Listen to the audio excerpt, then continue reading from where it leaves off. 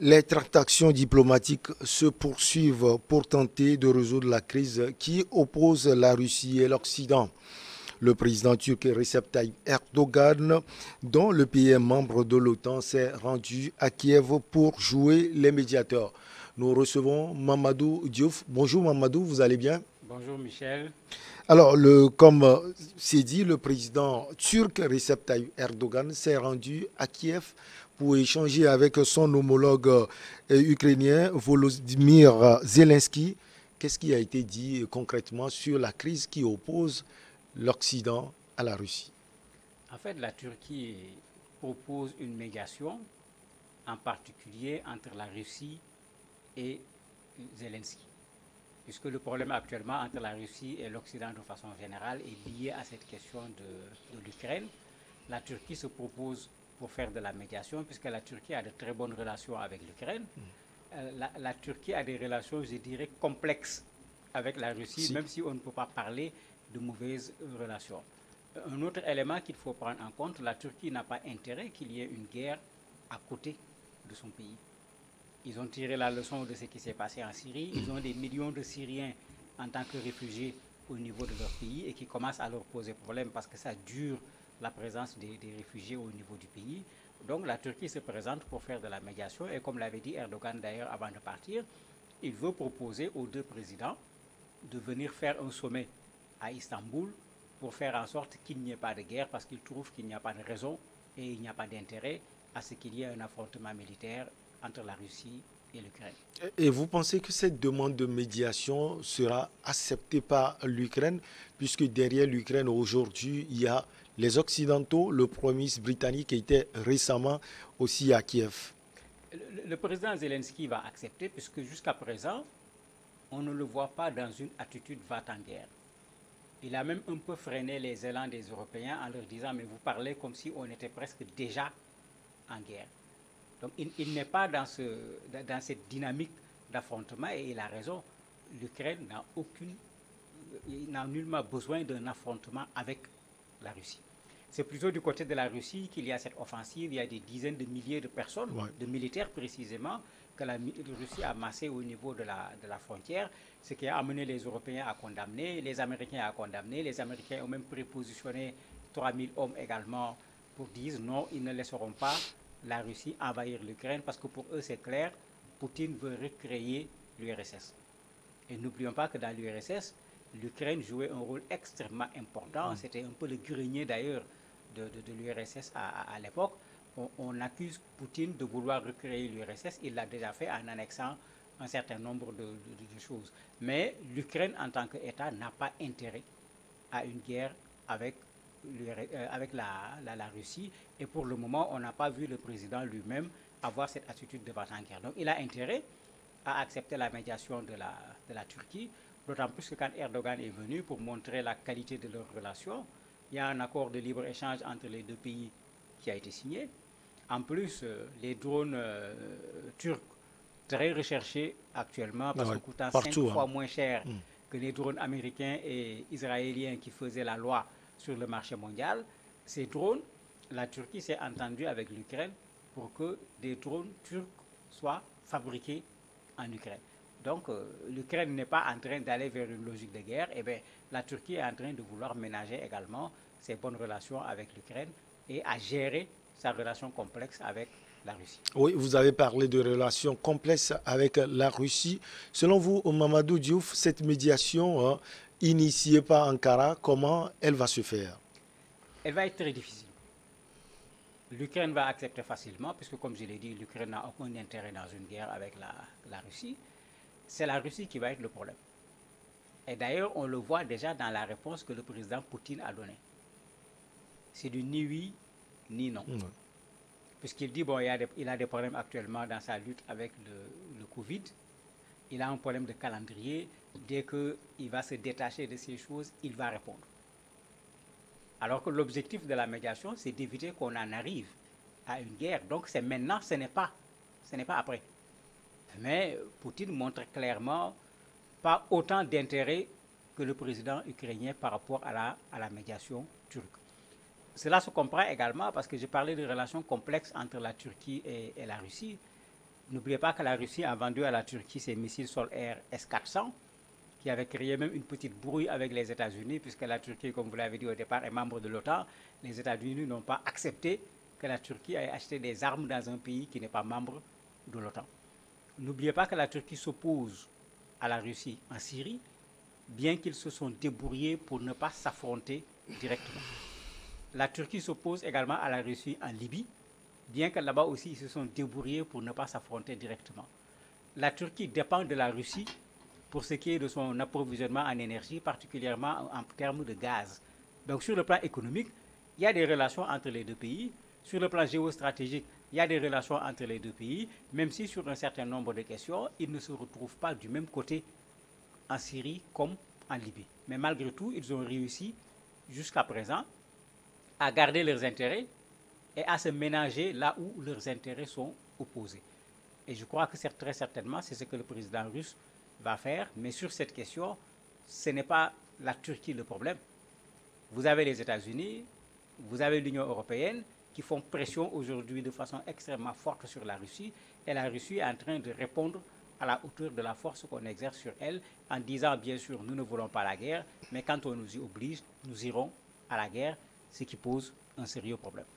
Alors, Mamadou, vous ne pensez pas que le comportement ou bien l'attitude de Vladimir Poutine prouve à suffisance aujourd'hui que les sorties de Joe Biden, par exemple, le président des États-Unis, du ministre britannique, euh, du premier ministre britannique Boris Johnson et du, président français Emmanuel Macron, ces sorties sont vérifiées et prouvent à suffisance que la Russie est en train de jouer du dilatoire pour attaquer l'Ukraine. Mais c'est du Poutine. Je ne dirais pas la Russie, c'est du Poutine, c'est ce que Poutine a fait partout. Euh, voyez-vous ce qu'il fait avec, euh, comment on les appelle, ces mercenaires russes? Un peu partout. Quand vous dites, il dit, bon, nous avons envoyé des, des instructeurs militaires. Quand on dit, vous travaillez avec Wagner, ils disent, nous n'avons pas de relation avec Wagner, alors que même la proximité entre le premier responsable des Wagner, le président Poutine, tout est connu. Mais vous avez un Poutine, vous lui parlez du baobab, il vous parle du citronnier.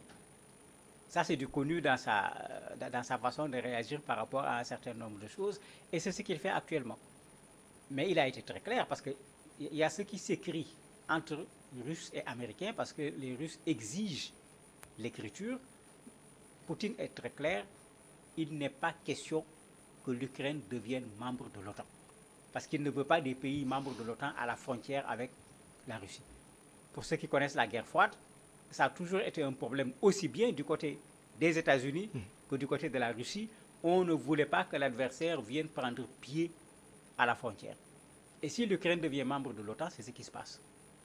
La Turquie, c'est un peu cette relation complexe dont je parlais. La Turquie est membre de l'OTAN et la Turquie accepte que l'Ukraine devienne membre de l'OTAN, alors que pour, pour euh, Poutine, c'est une sorte de ligne rouge. C'est pourquoi, pour que ça soit clair, ils avaient demandé aux Américains de l'écrire. Pas une discussion seulement, qu'on écrive que l'Ukraine ne sera pas membre de l'OTAN, parce que pour eux, il n'est pas question que l'OTAN vienne s'accoler à la frontière de la Russie.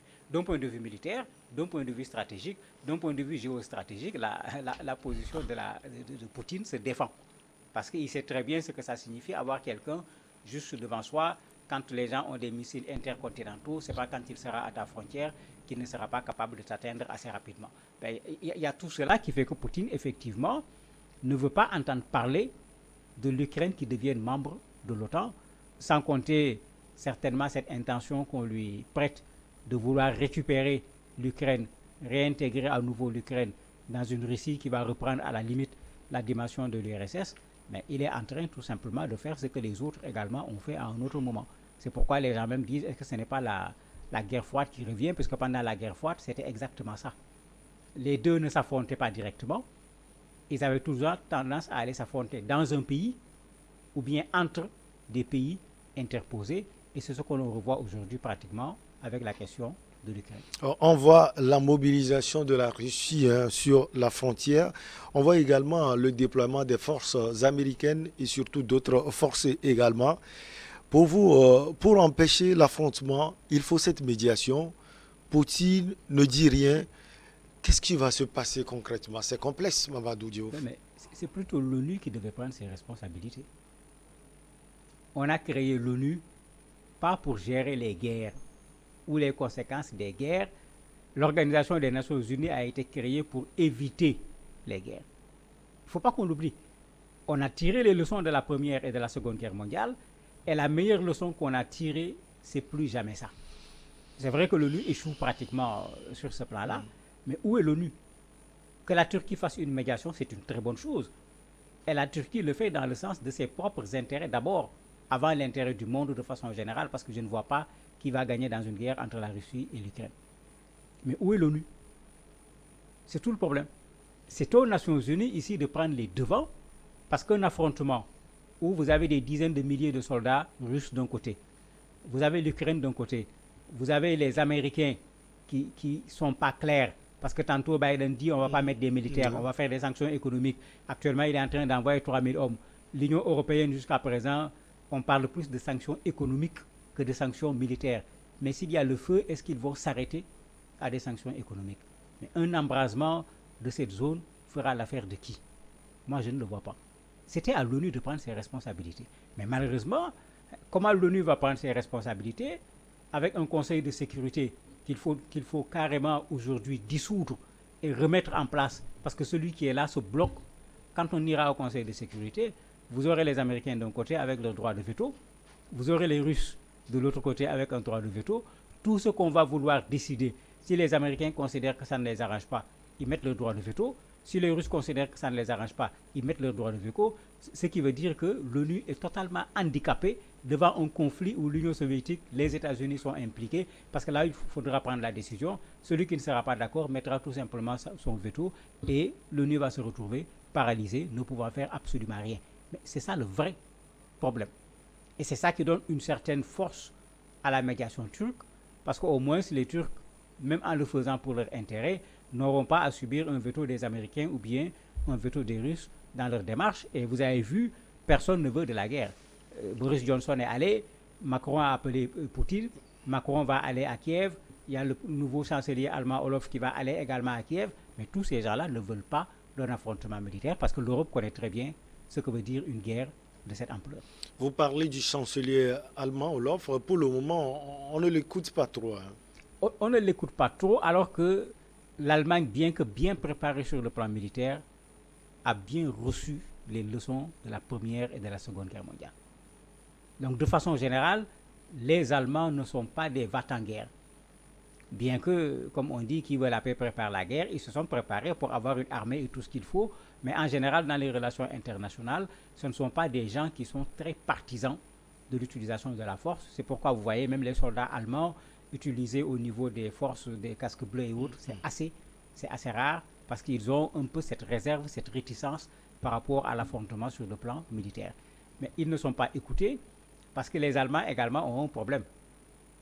Vous avez déjà un pipeline qui a été fait pour le gaz russe qui va alimenter l'Allemagne, dont pratiquement 50% du gaz, provient de la Russie. De la Russie, oui. Ben, si on bloque cela, vous voyez le problème que cela va créer pour l'Allemagne.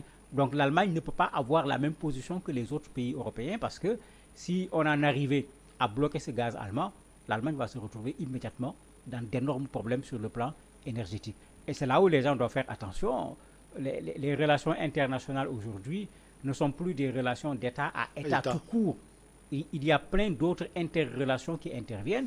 Et quand l'Allemagne prend position, l'Allemagne est obligée de tenir compte également de ses propres intérêts avant de tenir compte des intérêts d'un quelconque autre État, fut-il la France, qui est à côté et qui est membre de l'Union européenne comme l'Allemagne. Mamadou Diouf, merci beaucoup à vous. Allez, on va marquer une pause et derrière, on reçoit Harry Akodo, le journaliste sportif.